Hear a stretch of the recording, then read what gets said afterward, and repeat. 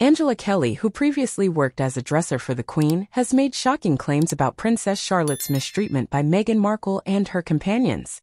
The past year was tumultuous for Meghan due to various issues in the media after Prince Harry released his contentious memoir earlier this January.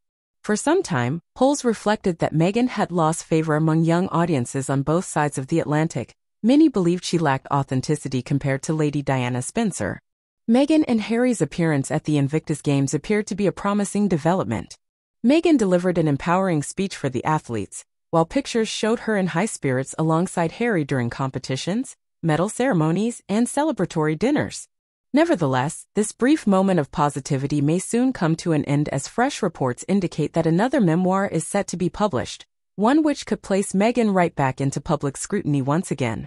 It is worth noting that Meghan used to be good friends with Jessica Mulroney, a stylist from Toronto. Nevertheless, they grew apart and it seemed like their friendship had ended for good.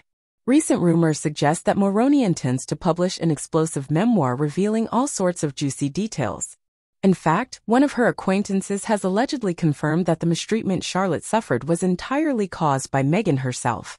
Angela Kelly, the Queen's former dresser, has valuable insights regarding Charlotte being bullied by both Meghan and Jessica. During a public event where cameras were present, Charlotte unexpectedly waved to the crowd which stole attention from Jessica's proud moment causing her disappointment. Before Prince Louis was born while Kate was still pregnant, Meghan also acted with ill manner towards young Charlotte as well as Nanny Maria and even Princess Kate herself, who had an occasion to witness it.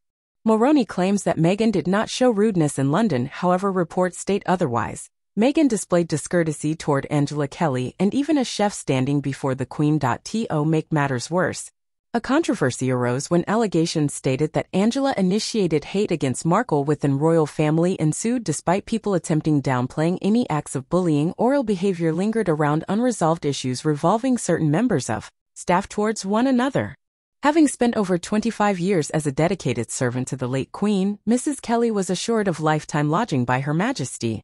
Unfortunately, following the passing of the monarch, she received an eviction notice for her Windsor estate cottage and had to move all the way to Peak District near Sheffield instead.